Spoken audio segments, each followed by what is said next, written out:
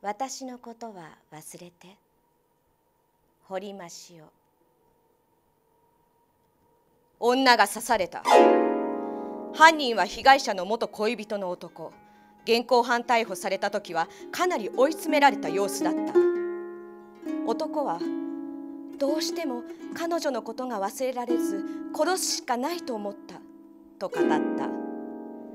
幸いにも軽傷で済んだ女は「私のことは忘れて」と何度も言ったのにと目を伏せた。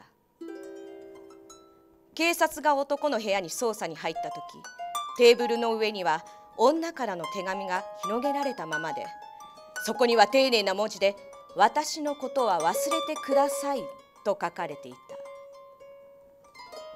その手紙と同じ封筒が部屋の一箇所に山積みになっていた。そして部屋のゴミ箱とマンションの郵便受けにもあふれていた。同じ言葉が連なるファックス用紙が部屋中に散らばり留守番電話の録音は同じ相手からの伝言でいっぱいだ。パソコンも同じメッセージで埋め尽くされている。そして男から押収したスマホの着信音もいまだに鳴り続けている。被害者の女からだった。私のことは忘れてください。